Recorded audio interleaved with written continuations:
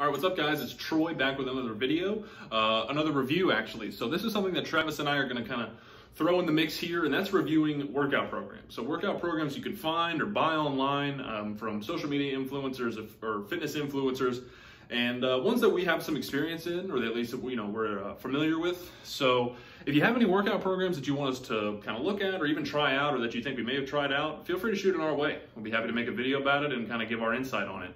Uh, so I'm going to start here with the, the Daily Pump. This is Julian Smith's bodybuilding program. Uh, you're probably, if you're familiar with us, you're, you're probably familiar with Julian Smith. He's a fitness influencer, one of the bigger ones these days, very bodybuilding focused. Um, me, Travis and I actually met him. He's a, he's a nice guy. I mean, I'm not, I'm going to try and give a, uh, a neutral, uh, objective perspective on this, but uh, we haven't met him. He's a nice guy. And I've been doing this program on and off for the last probably 18 to 20 months. Uh, mostly on, I mean, when I, whenever I'm in a bodybuilding phase, I tend to resort to this and I'll kind of get into why. But uh, yeah, I'm gonna start here just because I have the most experience with this program specifically and following it closely. So I'm gonna kind of jump back between the, the pros and cons here and kind of lay it out for you guys if you were looking for a bodybuilding program or even this program in particular. So uh, just jumping in here. The first pro, I'm gonna kind of go back and forth. The first pro is gonna be, it's beginner friendly. So the the basis for the program is basically it's definitely bodybuilding focused. So I do want to say that if strength or power or explosiveness or being an overall better, I guess, athlete, especially if you're playing a sport, uh, this is not going to be the most ideal um, program for that. It's definitely bodybuilding, mind muscle connection, hypertrophy focused, tearing down muscle fibers, things like that. So um, keep that in mind before you get into this program or anything like that. Uh, but in the, the way that it is beginner friendly is that it very much teaches mind-muscle connection.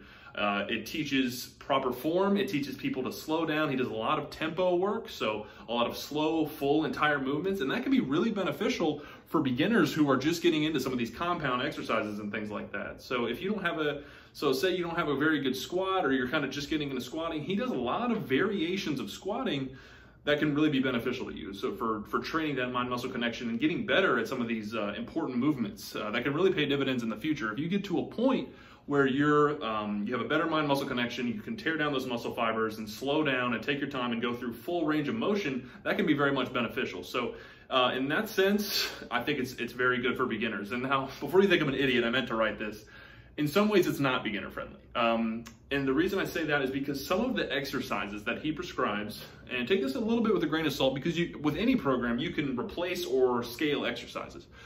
But some of the exercises he does prescribe, I would consider advanced movements, like a Platz hack squat or a stiff-legged rack pull RDL, you know, making a mess over here.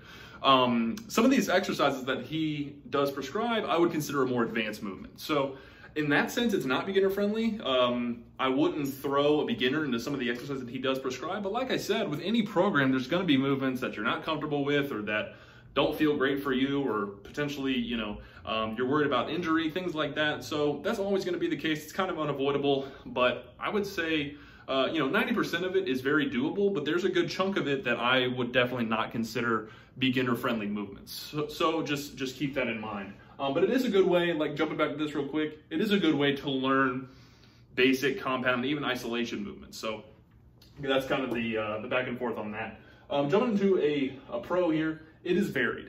It, there's a huge variety of movements. Um, you, I, I've done hundreds of these workouts to a T, and it never has felt like I've potentially repeated a workout or anything like that. You are not going to get bored at like exercise wise. He he will obviously repeat exercises, but between his rep schemes, the tempo that he prescribes, rest times, supersets, giant sets, everything's like everything like that like I said, very bodybuilding focused, but he absolutely mixes it up. You're not going to get bored when it comes to the movements themselves. So I will say that a huge variety there, um, and that's a, that's an absolute. Uh, that's that's kind of what's kept me into it for like I said, 18 to 20 months now. Um, you know, whenever I pull up the app or go to the next workout, it's like brand new and something that I probably wouldn't have done on my own. So in that sense, I think that's that's fantastic and important to keep people consistent with their workouts, consistent with a program, and to and to keep getting better. So um, jumping over here to the cons, the next one, little progressive overload. And I mentioned this kind of at the beginning about it not being a uh, not being a strength or powerlifting program.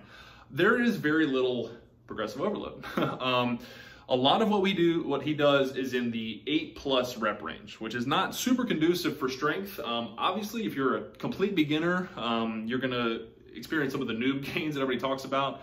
Um, you know, just lifting weights and getting better and overloading the muscle, so increasing weight as you go. That's obviously gonna increase your strength. But if you're an intermediate to experienced lifter, this is not gonna be super um, ideal for, for strength and power and explosiveness gains.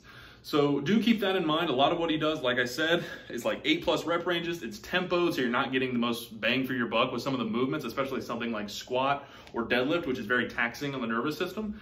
Um, so keep that in mind. The progress there is some. He has kind of blocks where he'll go down to like six in the four rep range. Uh, those are kind of few and far between. Um, so keep that in mind. I'm not saying you won't get stronger. I'm not saying you'll get weaker. I'm just saying it's not ideal for strength specifically. There isn't a ton of progressive overload. It's very hypertrophy, um, mind-muscle connection, tearing down the muscle fiber focused. Um, and then I kind of meant to tie this back in with varied, but it is definitely unique. Um, I have, you can go on bodybuilding.com or on the internet and get any, you know, five exercise, four sets each program that you want for bodybuilding. But this is going to be between the types of exercise he's exercises he prescribes, the tempos, the sets, the reps, um, the giant sets, compound sets, and all that, you, are I will say that you will have not done a program that is like that. That is exactly, um, or, or, that mixes it up like he does, essentially. Um, it is very unique. It stands by itself in the world of uh, bodybuilding workouts. I will say that. Um, I've, we've Travis and I both have tried several, and this definitely stands out in that sense. I don't need to harp on that too long. Um, but between its uniqueness and variations and movements, it, it, does stand on its own. So that's that's a absolutely a, a point for Julian there. um, so another con, it is not basic gym friendly. So if you're a guy who works out in his garage and just has a power rack, a bench, and a barbell, you're going to be very limited to the movements that he uh, that he prescribes. Um, he does a lot of machine work, cable work, does a lot of compound and giant sets that you would have to go to different machines or different racks or barbells for. And under that is kind of uh, parenthetically, I put crowded gym. It's not crowded gym conducive. So if you're a guy who goes to the gym after work at five and you get that like 5.30 huge gym rush, this is not gonna be super ideal for that because like I mentioned, some of the compound sets and giant sets that he prescribes, you're gonna need two cable systems and a leg press or something, you know? Uh, and that's just not that easy to get into. I'm not saying don't buy the program if your gym's crowded. Uh, I'm just saying that is something that you may want to take into account. So if you have a really simple gym or a really basic uh, gym like Bones, um, may not be ideal. Uh, so just keep that in mind. Always you can work around it if you you can absolutely do the program and replace some of the exercises with something that you do have to the best of your ability. That's always an option, um, but do keep that in mind. Um, okay, and then jumping back over, so uh, this is very important to me and a lot of people when they're going into a bodybuilding style program or even just switching programs in general. Uh, it is a low injury risk, our dogs are going off over there. Um, it is a low injury risk um, program. So like I said, a lot of what he does is very slow, high rep, not taxing um, workouts wise, workout wise.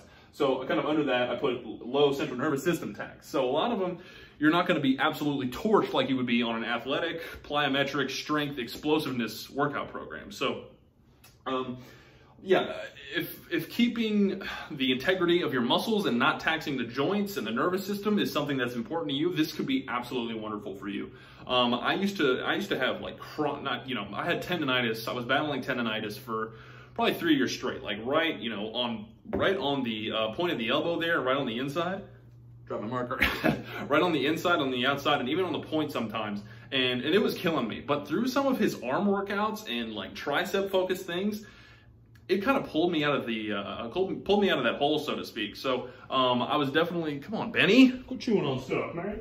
I definitely felt uh, better in that sense. It felt like almost most of the the the uh, heavier loads even were on the muscle itself. I felt like my joints had better uh, integrity. It felt like, you know, I, I, just didn't have those like aches and pains that you can get on strength blocks and things like that. So if you're a strength focused guy and you want to take, you know, a few weeks or a couple months to, to get into more of a, uh, a bodybuilding style program, this could be absolutely wonderful for preserving your joints, preserving your, your nervous system a little bit, taking a break from absolutely just beating down your body so bad over time.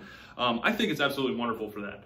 Uh, so keep that in mind. That's that's another uh, absolute pro for especially Travis and I who've had our fair share of, of little injuries and things like that. So um, yeah, that's that's another huge pro for me. Uh, and then volume imbalance. And take this one with a little bit of a grain of salt as well, because there's always going to be volume imbalance when it comes to a program. You're going to feel like, well, first of all, with any program or anything that you're doing, people are always more fixated and more focused on their on their weak points. So, I mean, anytime you have a program, it's like, man, I feel like I'm hitting legs all the time, you know, when you're worried about your arms or your chest or something like that. So, it does feel like with this program sometimes it is skewed in a direction, skewed especially towards legs. Like I feel like sometimes I've gone through four day periods where he'll upload his workouts and I've done legs twice, active rest day once, and an upper body day once. So in a four day period, I've done two leg workouts, active rest, and then one upper body workout. And sometimes that just feels a little, um, you know, there's like an imbalance there. It's leg focused and I love training legs obviously, but um, that's something that does pop out a little bit to me. Um, so just just keep that in mind. But again, you know, take that with a grain of salt. You can always work around that. He uploads his he, another thing. He uploads his workouts like four. He'll upload like four at a time, so you don't have to go one day after the next.